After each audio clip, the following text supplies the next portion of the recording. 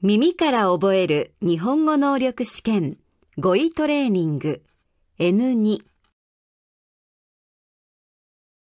運、中村さんは3回続けて宝くじに当たったそうだ。なんて運のいい人だろう。勘、母は勘が良くて嘘をついてもすぐバレてしまう。感覚、冷えて手足の感覚がなくなってしまった。神経、虫歯が痛いので神経を抜いた。記憶、その時のことは全く記憶にない。様子、手術を受けた母のことが心配で何度も様子を見に行った。雰囲気、この店は雰囲気がいい。魅力、初めて歌舞伎を見てその魅力に惹かれた。機嫌、父は機嫌が悪いらしく何を聞いても返事もしない。関心、私はスポーツにはあまり関心がない。意欲、働く意欲はあるのだが仕事が見つからない。全力、ボールを全力で投げた。本気、あの学生はやっと本気になって勉強し始めた。意識、頭を打って意識を失った。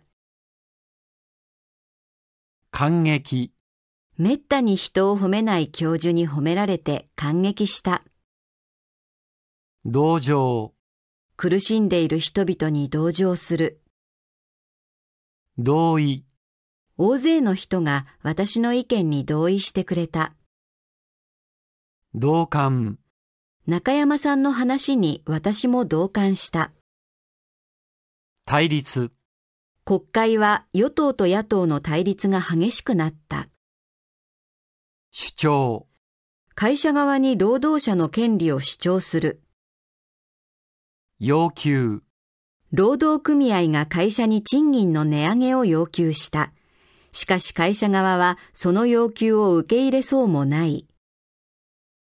得、株を買ったらすぐに値上がりして得をした。損、株が下がって損をした。勝負、どちらがテストでいい点を取るか友達と勝負をした。勢い、選手たちはすごい勢いで私の前を走りすぎていった。爆発、ガスタンクが爆発して大きな被害が出た。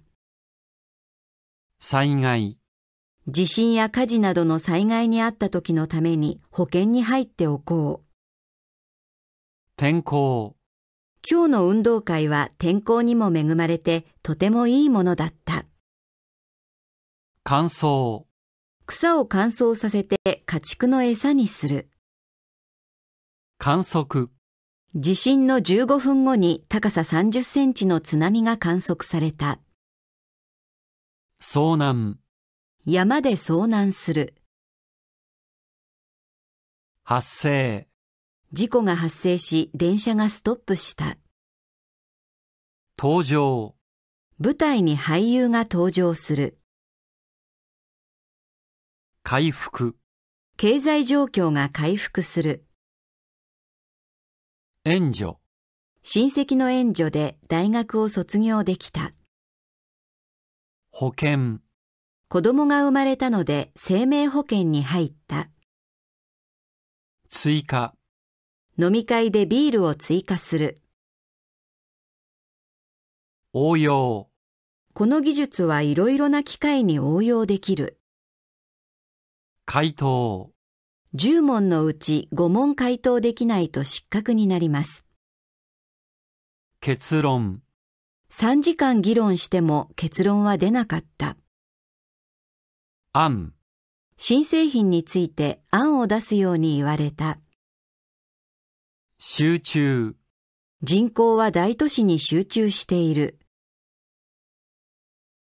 区別、レポートを書くときは事実と意見を区別して書かなければならない。差別、差別のない社会を作りたい。中間、名古屋は東京と大阪の中間にある。逆、鏡では左右が逆になる。よそ、方言はよその土地の人にはわかりにくい。他私にはわかりませんので、他の人に聞いてください。境隣の家との境には塀がある。半ば彼女の話の半ばは嘘だ。